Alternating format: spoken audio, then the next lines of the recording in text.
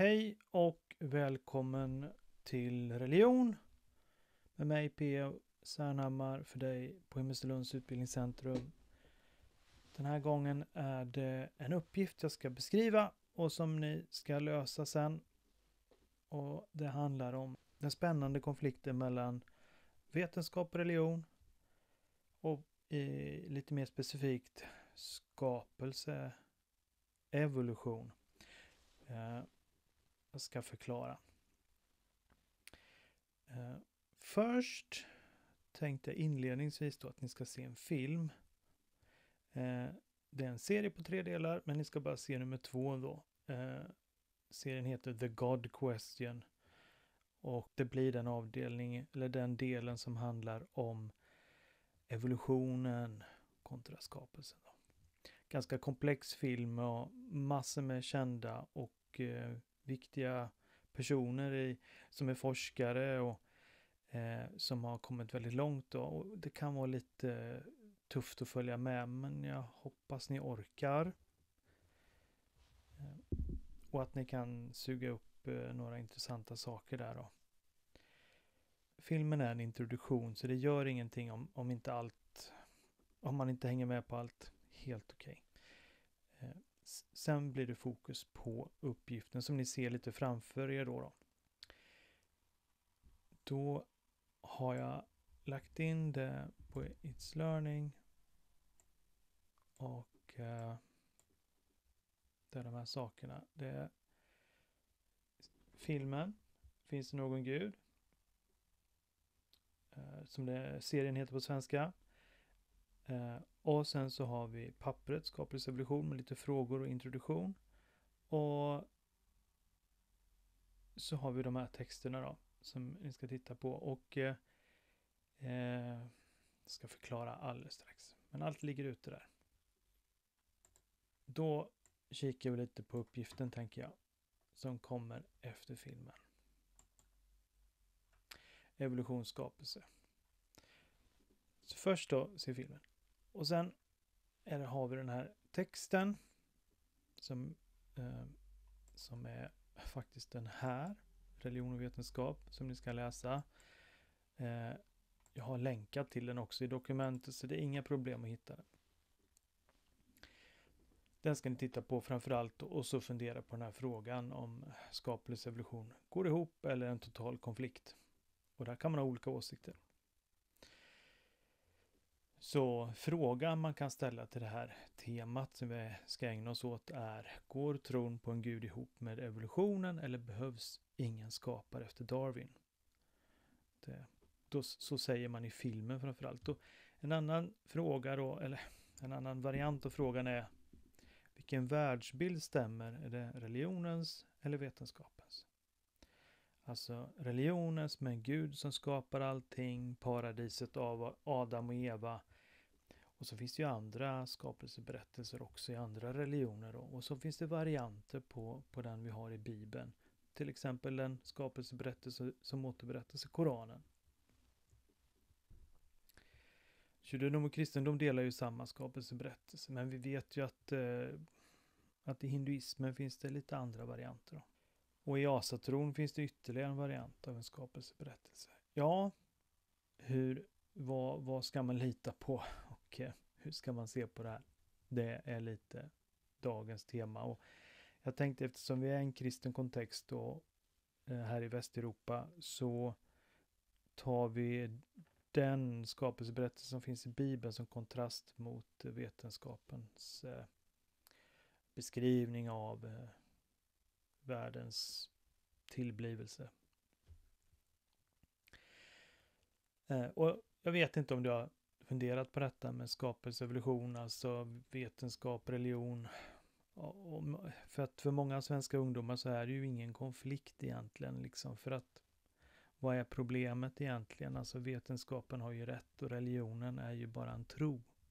Så brukar man väl allmänt sett tänka. Och så finns det kristna och det finns kristna av olika eh, typer i Sverige. Där, där, där skapelsetron, att Gud har skapat världen och Adam och Eva, allt det där, att det är mycket starkare. Då. Så det finns några sådana eh, Det finns en grupp sådana i Sverige. Flera grupper, undergrupper. Eh, och, och så, så, det gör det ju ändå lite intressant att titta på det om man vill förstå sina medmänniskor här i Sverige, men framförallt om man förstår människor i världen. Eh, om vi tittar på artikeln här då. Mindre än hälften av jordens befolkning tror på evolutionsteorin. Utan istället tror man då på någon slags skapelseberättelse med en gud inblandad. Då. Artikeln är från 2011. Tror jag också hade länkat den ja. I, och i USA är det en stor konflikt mellan skapelsetroende och de som eh, liksom betonar revolutionen. Eh, och det är ju en kulturkrets som är ganska nära vår och vi har ju stort, eh, stor kontakt med, med den amerikanska kulturen givetvis då, inte minst genom filmer och på andra sätt. Så det kanske gör ändå att det är en, en viktig sak. Och inte minst är det viktigt därför att det är ett kunskapskrav olika uppfattningar om relationen mellan religion och vetenskap i den aktuella samhällsdebatten. Och det, det är ett, eh, ett, ett, ett, mål för kursen och ett kunskapskrav som formuleras här. Då. Man kan översiktligt eh, redogöra för olika uppfattningar. Eh, och så blir det, ska det vara utförligt och nyanserat på A. Då. Så då gäller det att titta lite på det här. Och eh, texterna har jag länkat också, de finns på internet. Det går att trycka här och Eh, det är de två viktigaste sakerna. Jag tänkte ni ska inte titta för mycket på påven där, så att jag bläddrar vidare. Och så kommer frågorna här som jag anknyter till filmen och, och allt handlar om samma tema, men i huvudsak är det ju texterna som är bra att titta på. Men först tänkte jag att du ska titta lite, liksom bara tänka ut för dig själv eller formulera för dig själv vad, vad, vad du tycker. Um, vad, vad, är din livsfilosofi? Känner du att du är religiös eller inte? Det här är ju ingenting som du behöver skriva eller berätta för mig nödvändigtvis, men om du vill så får du gärna berätta det. Jag lägger ju inget värde i det. Jag tycker det bara är intressant. Är du ateist, teist, agnostiker, andlig sökare eller någonting annat? Hur skulle du vilja formulera det där om du försökte eh, kort bara berätta? Om du vill. Eh, och ateist, vad betyder det? Ja, det betyder att man inte tror på Gud. Icke-Gud tror jag man översätter det till på svenska då. Teist är ju däremot att man tror på Gud. Eh, agnostiker är att man tror att det inte går att veta någonting om Gud. Det, det är som att man inte vill ta ställning helt enkelt till gudsfrågan, det är agnostiker. Ingen kan veta. Och, och sen andlig sökare, det är väl många som är, ja, att man tror på någonting på något sätt. Eh, hoppas att det finns någonting, liksom lite sådär. Och, och så något annat kan ju vara vad som helst. Och sen har jag en fråga två om, om ni kan uppleva någon slags, och den handlar egentligen om det här begreppet helighet då, som är lite svårt och konstigt, kanske för, till vardags då. Kan man känna någonting, någon närvaro, något speciellt liksom, någonting som är lite bortom den här världen och jag vet inte om jag visade för er, men det finns en, en, en, serie på Netflix nu som handlar lite om eh, sådana nära döden upplevelser. Är det någonting som, som du har någon relation till det här? Kontakten till det andra på något sätt? Om det nu finns någonting. Har du upplevt något? Jag menar, en del kan få känsla av det. Naturen är den stora svenska religionen, säger man. Och flera har ju upplevt det i pandemin. Är det något speciellt att, att komma ut i naturen och, och, och, eller vara med djur sådär? Är det någon slags, ja, begreppet är svårt, men är det någon slags helighet eller någon speciell känsla där? Berätta om du vill. Blir jag jätteglad. Sen kommer det lite mer tuffa frågor om,